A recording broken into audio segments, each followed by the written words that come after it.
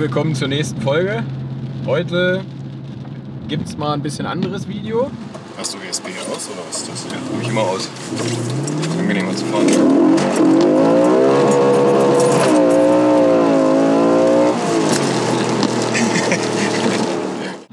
Und zwar sitzen wir heute in meinem RS4B7, den ihr gerade schon gesehen habt. Und ja, ich habe dieses Auto mittlerweile seit, ich glaube, sechs, sieben Jahre. Das war früher war das so mein Daily, den bin ich immer gefahren. Der hat mittlerweile auch sage und schreibe 391.000 Kilometer. Ich zeige euch das mal hier, damit er mir das auch glaubt. Ich habe den vor, als ich den damals gekauft habe, hat er auch schon knapp über 200.000 Kilometer gehabt aus erster Hand. Deswegen ist das Ding wirklich äh, Picobello, Taco und so weiter. Aber jetzt ist halt, ich sag mal, die letzten anderthalb Jahre bin ich eigentlich fast durch die ganzen Projekte immer nur mit dem, mit dem Bus durch die Gegend gefahren. Und dazu kommt, dass leider der Motor es jetzt langsam hier hinter sich hat. Das heißt, hier ist immer noch der erste Motor drin. Der hat auch noch volle Leistung. Allerdings ist bei den Motoren bekannt, dass sie tierisch Öl verbrauchen. Und jetzt mittlerweile ist es leider bei dem Auto so, dass der locker, ich sag mal, mit einem Liter Öl kommt man allerhöchstens so 500, 700 Kilometer. Das heißt, es wird jetzt an der Zeit, hier den Motor mal zu tauschen. Kurz zu dem Auto. RS4B7 ist quasi der, der Vorgänger, beziehungsweise, sorry, der Nachfolger von ähm, meiner Limo. Also nicht meiner Limo, sondern meine Limo als Kombi. Hier von der Nachfolger. Ist kein Turbomotor, sondern ist V8 Sauger. Diese Autos waren anfänglich, als sie noch recht neu waren, nicht sonderlich beliebt, weil die sind halt dafür bekannt, dass die nicht die volle Leistung haben. Eigentlich soll so ein Auto 380, äh, 420 PS haben. Als ich ihn bekommen habe, die erste Leistungsmessung waren allerdings auch nur 380 PS. Und das war schon gut, weil es gibt teilweise Autos, die sogar nur 360 PS haben.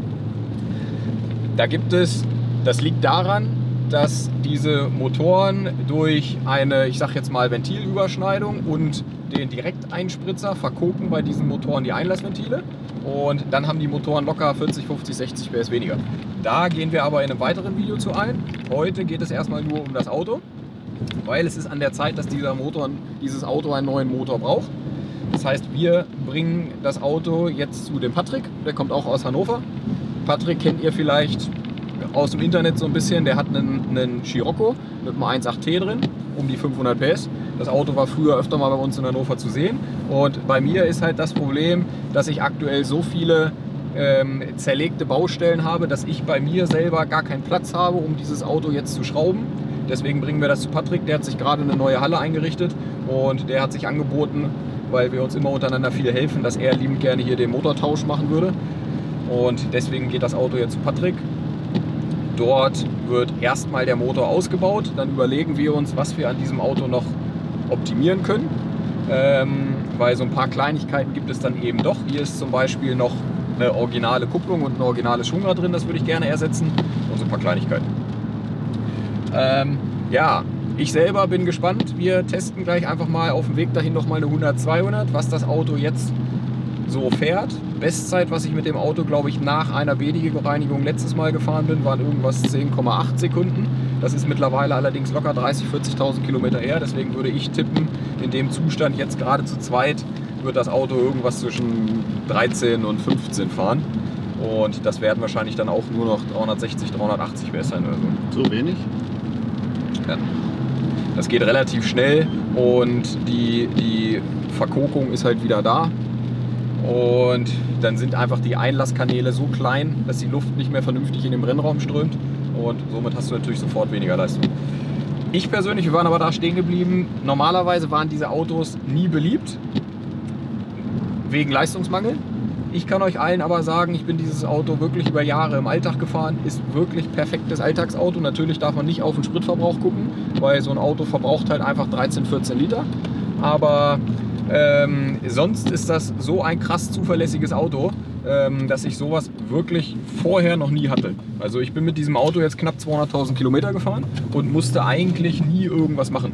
Also weder Kupplung noch Antriebswellen, Radlager, gar nichts. Hat vorne Keramik drauf, das heißt ich musste auch keine Bremsbelege machen. Ähm, das Auto ist wirklich immer gefahren, gefahren, gefahren, gefahren. Außer jetzt halt der Ölverbrauch. Rein mechanisch geht es dem Motor eigentlich richtig gut. Also da klappert nichts oder ähm, der hat keine Aussetzer oder so. Kompression haben wir auch gerade noch gecheckt, die war auch noch voll.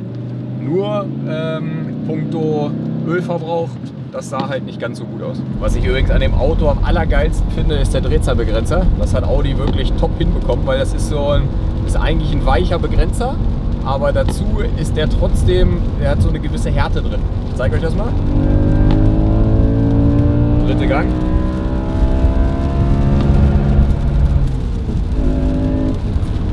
Ich weiß nicht, ob man auf das Video jetzt rüberkommt, aber jeder, der so ein RS4 B7 schon mal gefahren ist, der wird auf jeden Fall auch sagen, definitiv eins der Autos mit dem geilsten Begrenzer. Was halt bei dem Motor auch besonders cool ist, das werdet ihr ja gleich auch merken, der hat, einen, der hat zwar nie so richtig Leistung, aber hat die ganze Zeit Leistung über das ganze Drehzahlband. Also das Auto fährt wirklich aus dem Drehzahlkeller raus, hat das Ding schon durch den 8-Zylinder gut Drehmoment und dann ist es halt wirklich so, dass das Ding von 4 bis 8,5 wirklich komplett in Futter steht und dort seine 400 PS hat und somit schon, ich sag jetzt mal, auf jeden Fall Spaß macht beim Fahren. Jetzt haben wir leider miserabel beschissenes Wetter heute. Es regnet ein bisschen. Aber wir gucken gleich mal, ob wir nicht so eine 100-200 Messung trotzdem irgendwie machen können.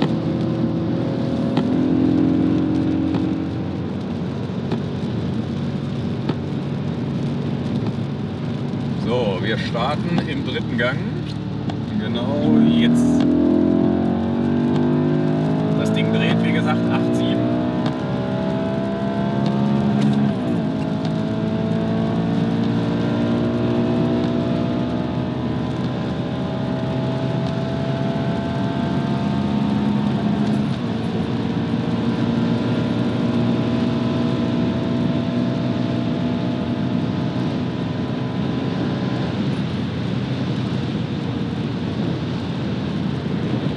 So, das war die 100-200 Messung. Ich selber habe die Zahl gerade schon auf dem Display gesehen. Wir sind gefahren zu zweit eine 13.3. Bin ich ehrlich gesagt fast ein bisschen positiv von überrascht, weil ich persönlich hätte gedacht, das Auto ist zur Sekunde mit zwei Leuten und so weiter langsamer. Aber 13.3 ist doch ganz okay. Ja, Was hast du, René? fühlt sich auf jeden Fall gut an. Was ich halt an dem Auto immer so schön finde, ich habe natürlich die Ansaugung und so ein bisschen modifiziert. Dieser V8-Sauger, der schreit einen halt von vorne so richtig an. Ne? Ja. Das fand ich halt immer schön. Das ist halt so einfach ganz was anderes als meine Limo, weil dieses Auto so durch, den, durch diesen Saugercharakteristik einfach viel, viel agiler und direkter als diese hochgezüchteten Turbomotoren ist. Und somit man, man, man, wenn man jetzt nicht gerade 500, 600 PS in diesem Auto erwartet, hat man hier eigentlich auch ein sehr schönes harmonisches Fahren drin. Und ich habe, wie gesagt, toi toi toi, in den ganzen Jahren mit dem Auto nie irgendwas kaputt bekommen. Das Ding war immer top zuverlässig und hat immer Laune gemacht.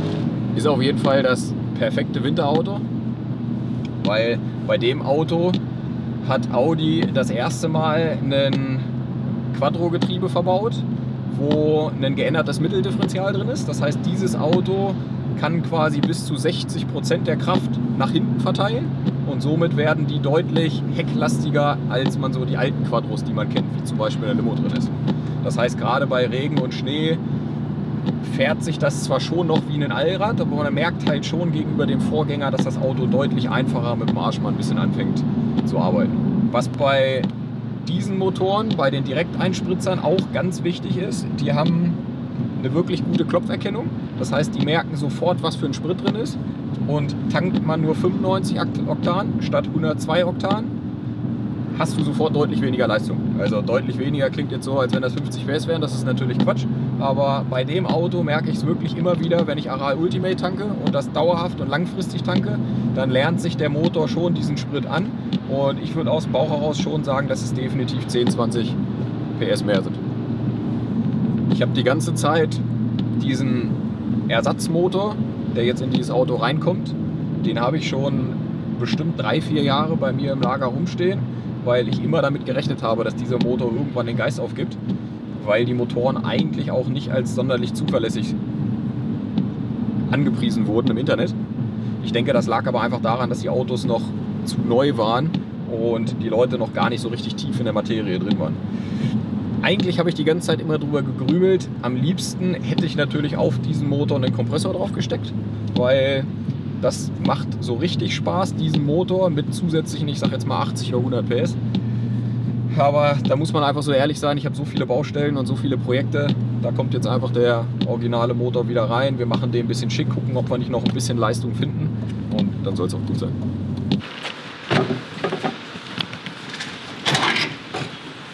Das gute Ultimate.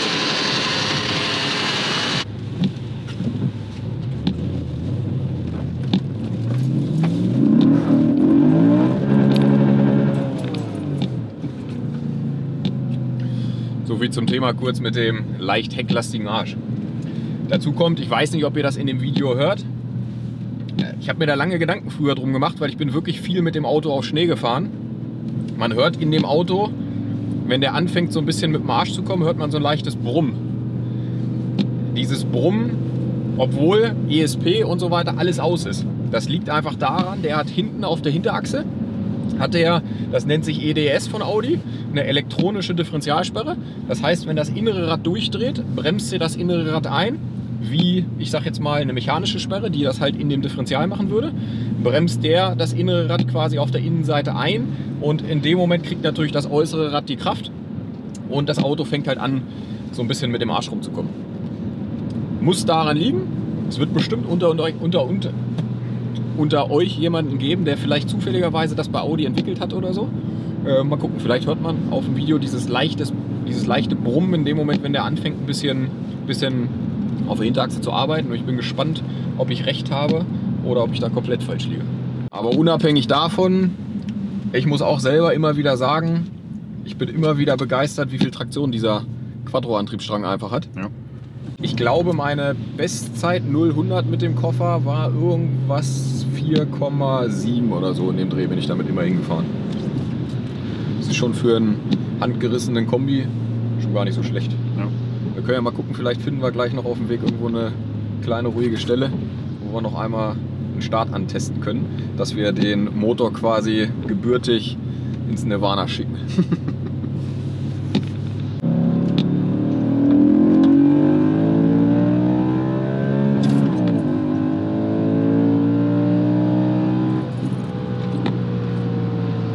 Aber der Klang ist geil, ne? Gefällt mir. So, jetzt testen wir mal 0-100 hier drin.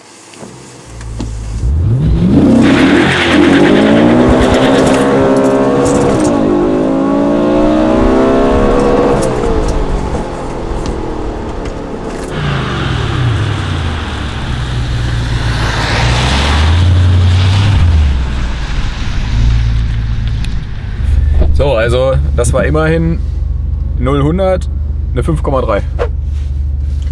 So, für die alten Pellen und im Regen und so, denke ich mal, ist das schon, ist das schon in Dortmund. So, ja, jetzt geht's aber auch zu Patrick. Äh, ich denke mal, der Motor hat jetzt genug gelitten und äh, jetzt geht's einmal neu.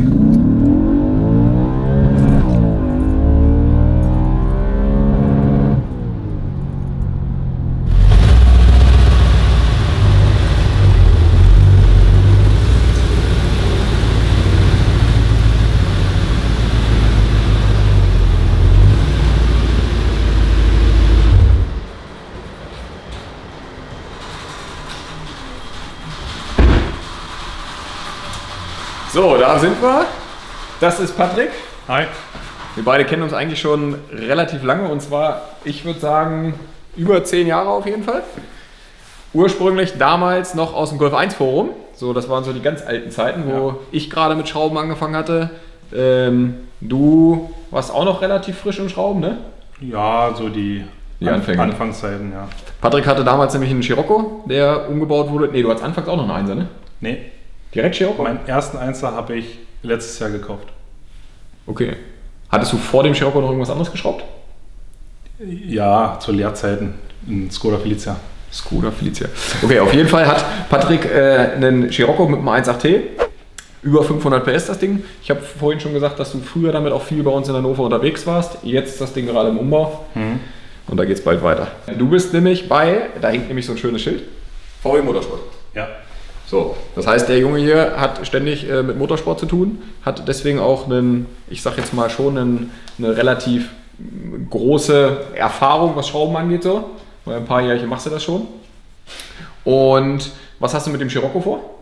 Den will ich im nächsten Step auf Formotion umbauen, weil mit 500 PS Frontantrieb, 02A Getriebe oder beziehungsweise 02J Getriebe war das immer ziemlich grenzwertig. Einmal im Jahr war das Getriebe kaputt, Zähne abgerissen, was auch immer, Mhm. immer wechseln.